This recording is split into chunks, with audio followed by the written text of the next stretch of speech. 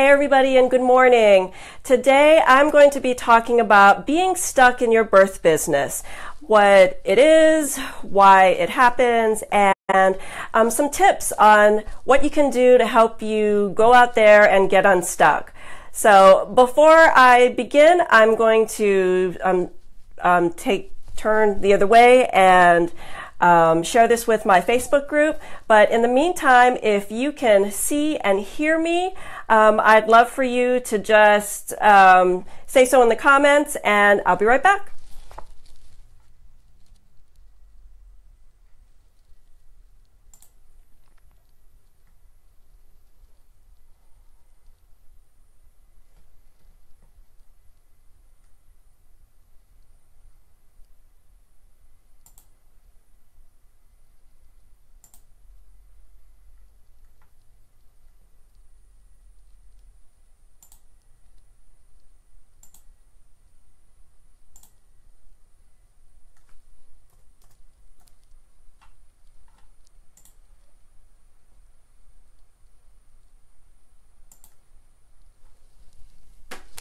Alrighty. So for those of you who don't know me, my name is Darlene McCauley and I help birth professionals start and grow their businesses with an emphasis on establishing systems and creating communities, both on and offline.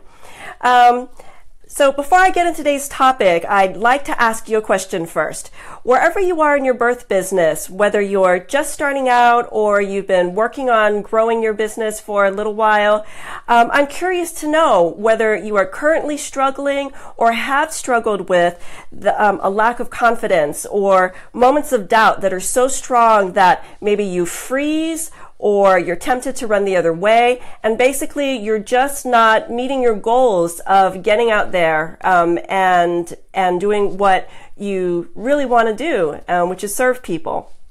Maybe you've tried positive affirmations or vision boarding, um, sought out support in an online group, um, talked about it with um, a buddy of yours or mentor. Um, maybe you decide that um, investing in another workshop or a training certification is just the thing that you need to give you that confidence so that you can really grow your business. Um, if this is you, I want to know, so go ahead and put that in the comments. and and secondly, I want to assure you that I'll be giving you some tips to help you break through that so that you can go ahead and put yourself out there. So, um, if you know of any other birth pros that might benefit from today's topic, please go ahead and share this. Um, I'd really appreciate it. And at the end of the live stream, I'm going to invite you to sign up for the Savvy Doula free resource library. Um, it has um, several different freebies, and I have just added in an additional one um, um, with some exercises to help you process some of the things that I'm um, talking about today. Um, hi, Kim. Yes, it's a near constant struggle, something that I deal with too. Um, so I'll give you more details later on the on the freebie that I've got, but for now, let's get started. So I've been coming across this running theme over the last month or so with coaching clients, um, my, some of my blog students, and I've been going through this myself. And that theme is an overwhelming feeling of resistance when trying something new in your business.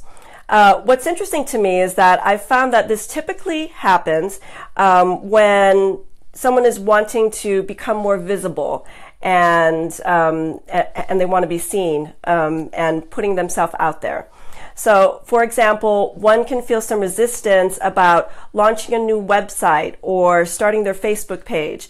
It can be about starting a new blog or reaching out to other people in your community, um, putting up a table at a baby fair, or in my case, it's actually going live on Facebook. Um, so today I'm going to talk about what being stuck or feeling resistance looks like, uh, why it happens, and what you can do about it. So let's talk about this feeling of being stuck. What does resistance even look like? Well, there's the obvious feeling um, of that physical pushback um, that you feel, such as when you're about to push the button to go um, to turn on your website or um, or something's telling you you know no don't make that phone call yet um, and it could also be you know that cacophony of voices in your head screaming, no, don't do it, don't do it. Um, saying things like, you're not good enough or you're not ready. Um, and then there are the more subtle defense mechanisms that happen, such as doing anything that basically lets you procrastinate and not deal with with this goal that you've put forth.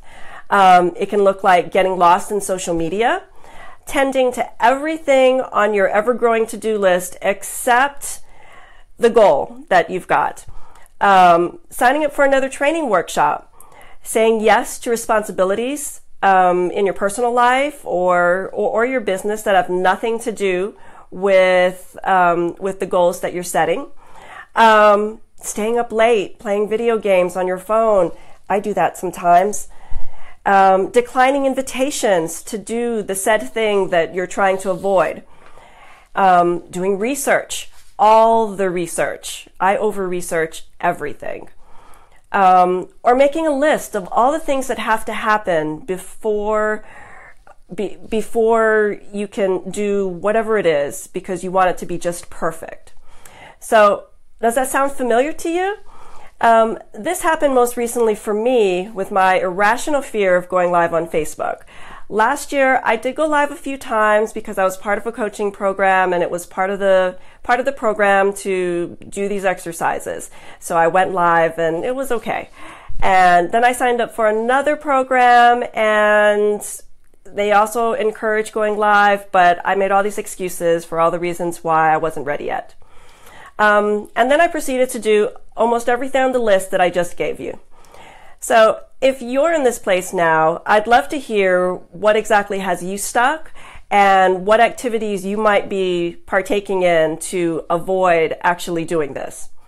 Um, and yes, I do want you to admit that you're that you're not stepping into your role and and avoiding what it is that um, that you want to do to move your business forward.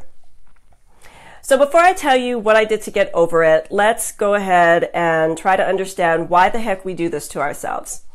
So simply put, our brain wants to keep us safe. The status quo is comfortable. Uh, we always know what to expect. And for the most part, we just go with the flow and we move smoothly through life. But when we're starting a new business and every single time you try to up level, every time you try to uh, widen your circle of influence, um, those that that resistance can can really crop up. And our mind reacts with the red lights and the loud buzzers. And if you're like me, I've got like these jumping monkeys in the background and they're screeching, eek, eek, eek, don't do it. And our minds are saying, what? What is this you want to do? You want to actually meet new people? You want to share a unique idea that's different than what everybody else is talking about. You want to ask for how much money. You want to go on camera. So these are the things that happen in our head. And every time one part of us wants to grow, another part of our mind wants to protect us from disappointment, from rejection, from ridicule, and from the unknown and even all the awful reactions that might have been stored in our memories from the past. So to stop that discomfort, we get our minds and our bodies doing other things. We make excuses and we do whatever it takes to stay safe. Um, are you in that place? And if you are, how's that working for you? Are you reaching the goals that you're setting for yourself? And if you're sick of being stuck, I do have some tips for you. So, the worst thing that you can do when you're stuck is jump on that mental hamster wheel um, and listen to that never ending chaos that's inside your head. Your brain was on the right track when it wanted to keep you busy um, and substituted all those activities, but all that's really doing is just keeping you in the very same place you're in and getting you exhausted through all the busy work and, and the time that's wasted and you want to take action, but you want to take a different kind of action.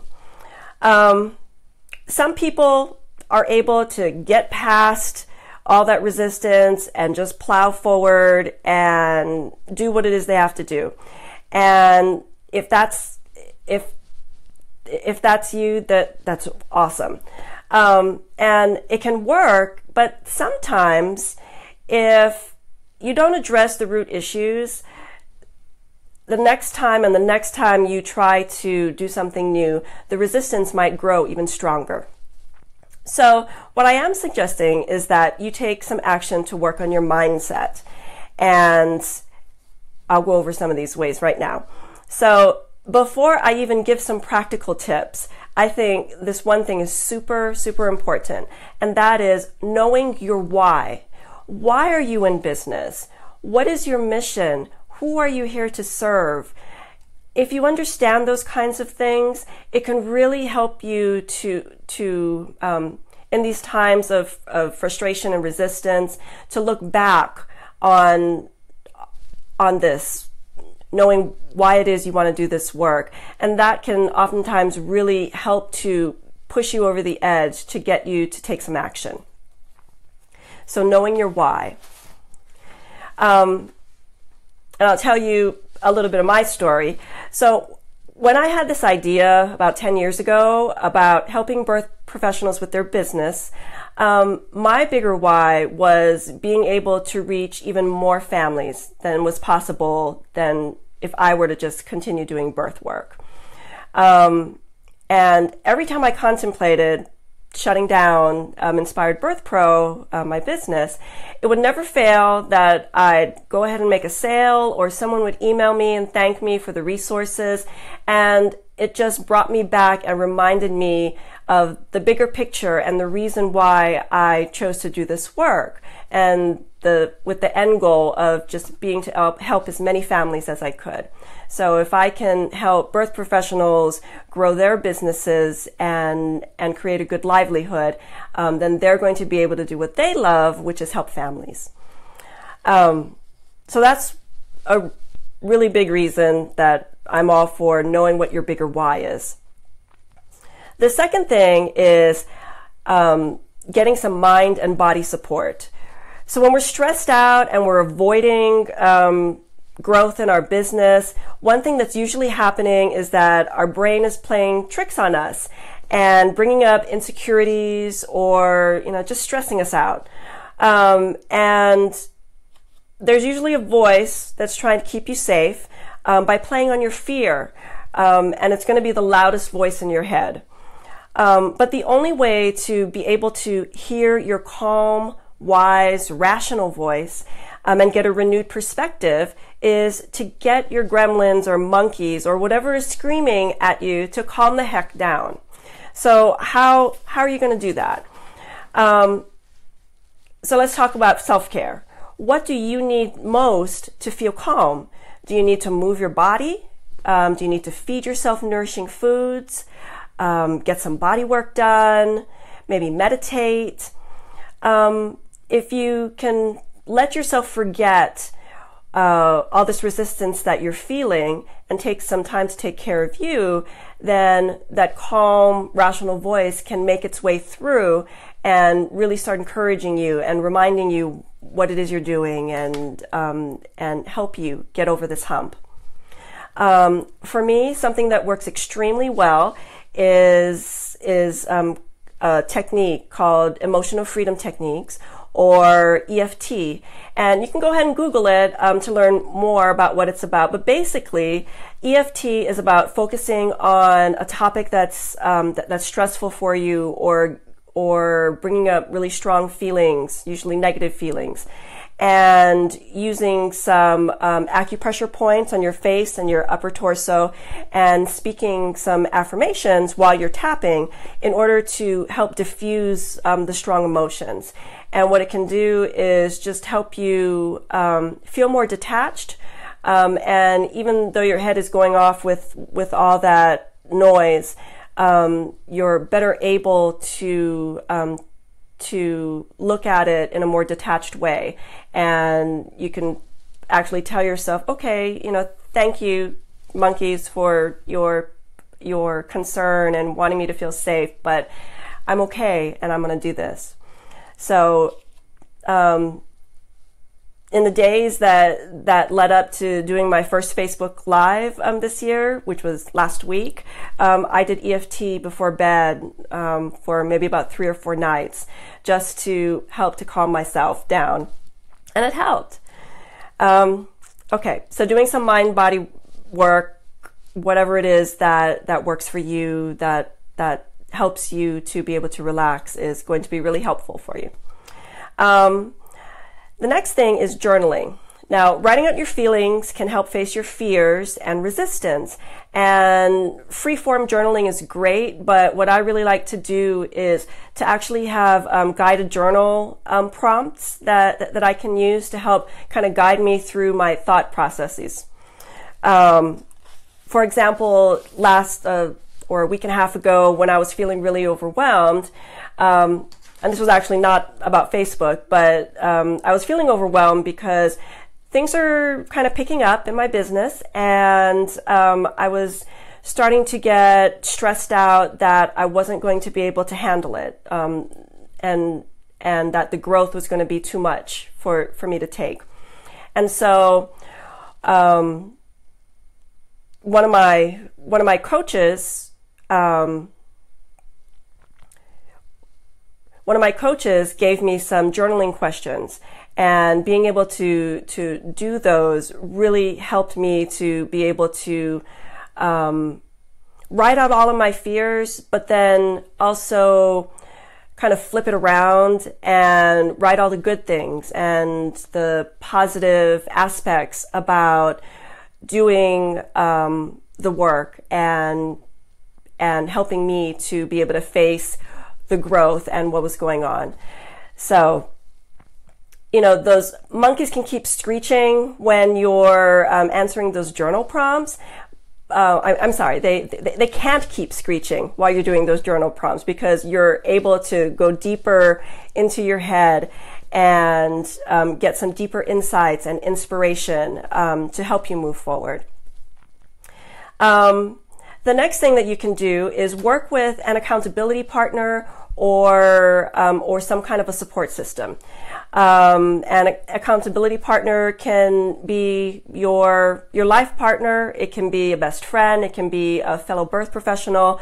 Um, whoever whoever it is that can help to um, you can exchange goals and kind of help each other to move forward together um, or a supportive um, a support system like a Facebook group or um, or a mastermind or a coaching group, something like that, where you have a hive mind of people who are rooting for you and who can encourage you and help to be that voice to um, to encourage you to move forward. Um, but when you're asking for help, I want you to do it in a specific way. And that is instead of asking how to do something, I want to challenge you to make an announcement um, of what you're going to do next. So basically, setting a goal, saying that I am going to um, write my first blog and I'm going to publish it tomorrow. Um, and and let people know because when you announce something publicly, you're going to have that internal pressure a little bit to to follow through. Um, and back to when I uh, was going to go live a couple of weeks ago or last week, um, a few days before that, my coach asked me um, in our Facebook group, "So when are you going to go live?" And I thought about it and I said, okay, this is the time. And I set a date and a time and a plan of what I was going to do. Um, and it was great to get encouragement back from the group, um, to have them root me on and say, you can do this. It's, it's awesome. You're, you're going to do great. Um, and that really helped me to keep that commitment and, and go live last week. So the last tip I have is that you've got to take action. And let's face it, all the EFT, journaling, and asking for support, all of that is not going to do diddly squat if you don't actually take action. Um, and as an example, so last week I planned to go live at 11 a.m. Um, last week Tuesday.